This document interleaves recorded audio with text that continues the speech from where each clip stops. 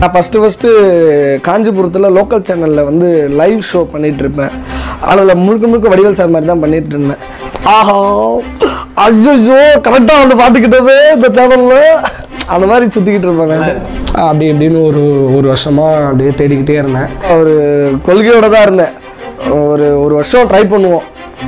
நம்ம வெறித்தனமாக பண்ணுவோம். சன் டிவி ஆடிஷன் போனேன் போன உடனே நம்மளை செலக்ட் பண்ணிடுவாங்கன்னு சொல்லிட்டு அசத்து போகுது யாரு போய் நான் பாலையா வாய்ஸ் எல்லா வாய்ஸ் பேசி காட்டுறேன் ரிஜெக்டட் நீ தேர மாட்டேன்னு சொல்லிட்டாங்க. இவெல்லாம் என்ன மூஞ்சி இவெல்லாம் என்ன இவன் வந்து பண்ணிட்டு இருக்கான். மறுபடியும் போனேன். டி டிவிஎஸ் கம்பெனியில் வந்து வேலை செஞ்சேன் நான். ஒரு ஒரு வருஷம் வேலை செஞ்சேன். மறுபடியும் அந்த சேனலுக்கு வாய்ப்பை தேடி மறுபடியும் வந்தேன் ரெண்டாயிரத்தி பன்னெண்டுல வந்து ஆரம்பமாகுது. சன் டிவில இருந்து நான் விஜய் டிவி வர்றேன். விஜய் டிவில வந்து பாத்தீங்கன்னா தாம்சன் சார் கிட்ட வந்து இந்த அது இது இதெல்லாம் போயிட்டு இருக்கு. சின்ன சின்ன ரோல்லாம் வேணும் அப்படின்னு சொல்லிட்டு நான் மிமிக்ரி எல்லாம் பண்ணுவேன்னா? பார்த்து ஐயா அந்த மாதிரி அப்படின்னு சொன்னோன்னே. ஸோ நீ என்ன புதுசா பண்ணுவ அப்படின்னு சொல்லும்போது தான் அந்த டைம்ல ரெண்டாயிரத்தி பன்னெண்டுல மொட்ட ராஜேந்திரன் பயங்கர ஃபேமஸா இருந்தாரு. நான் மொட்ட ராஜேந்திரன் வாய்ஸ் வந்து பேசினேன். அப்போ தல தளபதி! ஹலோ செழிப்பாடுறியாவ நமக்கு மட்டும் வாடகை மட்டும் வர வச்சுக்க. உன்னை ஊட ஜப்தி பண்ண வைப்பேன். அப்படின்னு சொன்னேன். மொட்டை ராஜேந்திரன் வாய்ஸ் பேசினா போதுமா? அது மொட்டை அடிச்சிருக்கணும் மொத்த முடி நல்லா வளர்ந்துருக்கு அப்படின்னு சொல்லிட்டு போறாரு. அவர் லஞ்ச் பிரேக்ல போயிட்டு வர்றதுக்குள்ள வந்து பாத்தீங்கன்னா நான் மொட்டை அடிச்சுட்டு ரெடியா இருந்தேன். வரலானே இது ஓகேவானே அப்படின்னு சொன்னேன். அவரே வந்து ஆள் அடையாளமே தெரியல. சரி சின்ன சின்ன ரோலா வந்து கொடுக்க ஆரம்பிச்சு இதெல்லாம் ஒரு மூஞ்சி. இதெல்லாம் வந்து லைவ் பண்ணுறது இதெல்லாம் எங்கே போகுது அப்படின்னாங்க. ரெண்டாயிரத்தி பதினஞ்சு. ஒரு மூணு வருஷம் கழிச்சு கேபிஒய்ல வந்து பாத்தீங்கன்னா எனக்கு வந்து ஒரு பிரேக் அந்த மொட்டை ராஜேந்திரன் ரோல்ல வந்து நான் செம்மையா பெர்ஃபார்ம் பண்ணேன். அதன் மூலியமா வந்து பாத்தீங்கன்னா கேபிஒய்ல வந்து நான் எட்டு டாப் எயிட் கண்டஸ்டன்ட்ல நானும் வேற வந்தேன்.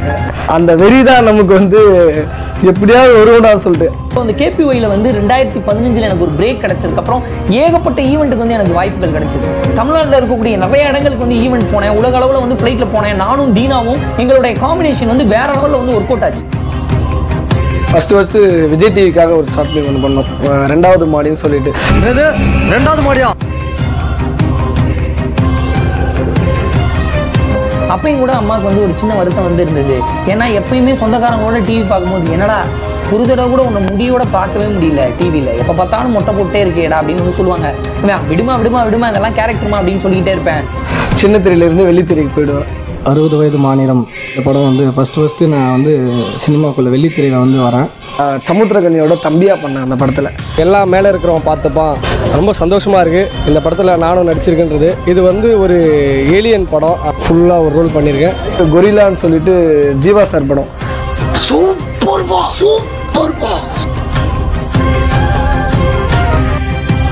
கண்டிப்பாக நான் ஒரு அச்சீவ்மெண்ட் பண்ணுவேன். இதில் வருவேன் நான் இதில் ஜெயிச்சிருவேன்.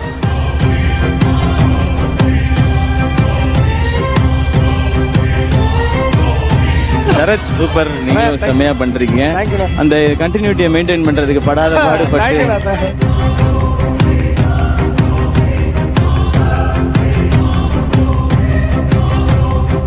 நீங்கள் நான் கலாச்சியா ரெண்டு பேர் சிரிக்கிறாங்களா? ஓகே எனக்கு எனக்கு ஹாப்பி எனக்கு என்னோட வேலையை அதுதான். நான் யாரையா சிரிக்க வச்சுட்டு போனோம். எங்க அண்ணன் பெருச்சாலியை கூப்பிட்டுருக்கீங்க.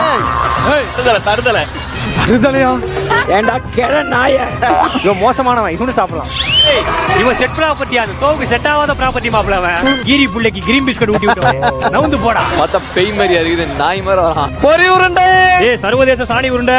இல்ல இல்ல எல்லாரும் வந்து ஒரு ஒரு இது சொல்றதுக்கு அந்த காமெடி அவன் இது போடுறதுக்கு எல்லாருக்குமே ஹெல்ப் பண்றது சரத் தான் இந்த காய்கறி இப்படி தான் ஸ்மெல்லாக நாத்தம் தாங்க முடியும் ஸ்மெல் இருக்குன்னு நான் எடுத்து அவன் தலையில் கை வச்சிட்டேன். என்னண்ணே அப்படின்னு எனக்கு கேட்குறான் இல்லை அந்த ஸ்மெல்லை விட இந்த ஸ்மெல் ஓவராக இருக்குன்னு சொல்லிட்டு பண்ணுறான் அப்படின்னு. நான் தலையில் கை வச்சிருப்பேன். அவன் உடனே வச்சான். அந்த ஃப்ரூட் நாத்தடிக்க இல்லையோ இந்த ஆள் கையை அடிக்கடி தூக்குறான். பயங்கர நாத்தடிக்க எல்லாமே சிரிச்சிட்டானுங்க ப்ரொஃபசர் ஜேடி ஏண்டா கேடி? காட்டு பண்ணி போட்டா கண்ணாடி தலையா? பல்லு விளக்கிட்டு வாயை துடைக்காம வந்திருக்கான் சார். இது தலை இல்ல தருதலை. நம்ம ஏதோ ஒரு விதத்தில் சிரிக்க வைக்கிறோமா? அது போதும். நிறைய பேரை ஜெயிக்க வச்சிருக்கான் ஃபஸ்ட் டைம் இந்த மாதிரி அவரெல்லாம் பார்க்கி அவ்வளோ வேலைகள் அவ்வளோ விஷயங்கள் நான் வந்து நான் உழைச்சிக்கிட்டே இருந்தேன். ஏதாவது நடக்கணும் நடக்கணும் நடக்கணும்னு. அது எல்லாமே எனக்கு ஞாபகம் வந்துச்சு அந்த அவார்டு வாங்கும்போது. ஏகப்பட்ட பேருக்கு கேட்டு சொன்னாங்க இந்த மாதிரி இந்த அவார்டு வாங்கினது வந்து எனக்கு ரொம்ப சந்தோஷம். நான் உங்களோட எனக்கு சந்தோஷம் அப்படின்னாரு. எல்லாருக்குமே ரொம்ப ரொம்ப நன்றி. ஆக்சுவலாக இது அவங்களுடைய சப்போர்ட்டு முழுக்க முழுக்க. மொட்டை அடிச்சு நான் மொட்டை ராஜேந்திரனா ஒரு கெட்டப் பண்ணியிருப்பேன் அது எல்லாருக்குமே ரீச் மொட்டை ராஜேந்திரன் மாதிரி பண்ணுறீங்க மொட்டை ராஜேந்திரன் அதை தாண்டி ஒன்று சொல்கிறாங்க நம்ம வெளில போனால் ஒரு விஷயத்தை எடுத்து சொல்கிறாங்கன்னா அது ஜாக்ஸ் பருவம் இதுதான்.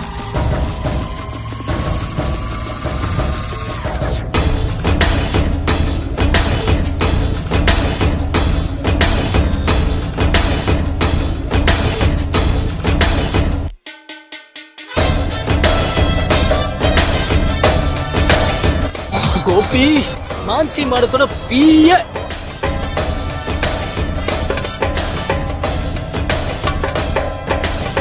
எல்லாம் இந்த யோகியை பார்த்த ராசிதான் ஒரு நாள் சொல்லுவீங்க.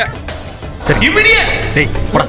Immediate man what a love நான் சொல்லுதான் ஃப்ரெண்டு என் நினைப்பெல்லாம் வருது போல. இந்த ராஜுபாய். அகில இந்திய தமிழ்நாட்டோட ஒரு மின்மணி சூப்பர் ஸ்டாரை குடும்பப்படுத்திட்டு இருக்கடா அர்ஜுன். என்னெல்லாம் பார்த்தா ஹீரோ மாதிரி தெரியலையா? காமெடி பேஸ் மாதிரி தெரியுது. அவர் தான் என்கிட்ட ஹஸ்பண்டா ஒர்க் பண்ணிட்டு இருக்காரு. மிஸ்டர் சரத் ராஜ். இப்பதான்ப்பா கல்யாணம் ஆயிருக்கு. இப்பதான்ப்பா கல்யாணம் ஆயிருக்கு. இப்பதான்ப்பா கல்யாணம் ஆயிருக்கு.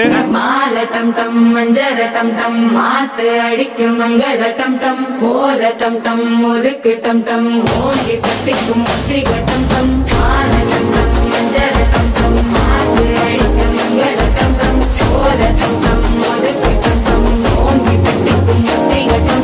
எப்படி போயிட்டு இருக்கு கல்யாண வாழ்க்கை? சூப்பராக போயிட்டு இருக்குங்க வேற லெவலில் போயிட்டு இருக்கு கல்யாண வாழ்க்கை நீ எப்படி நடந்தது இந்த லவ் கரெக்டா சொல்லு.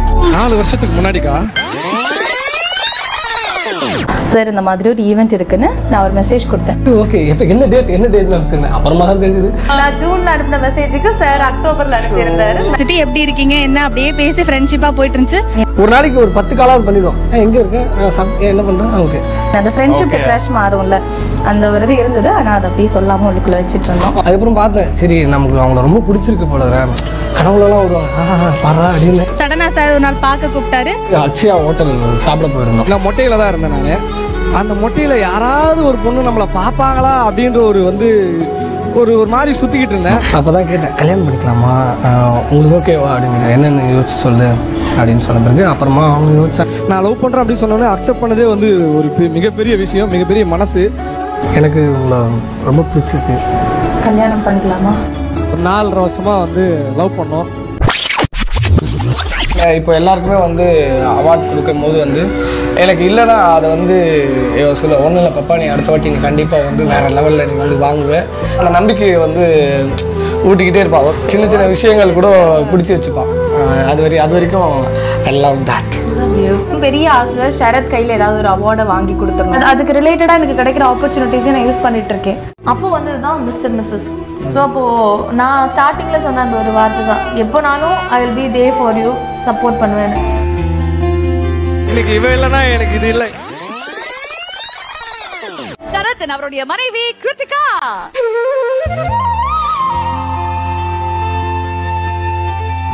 இப்ப நான் என் கூட சமைக்க போறாங்க போது எனக்கு ஒரே ஜாலியா இருக்கு.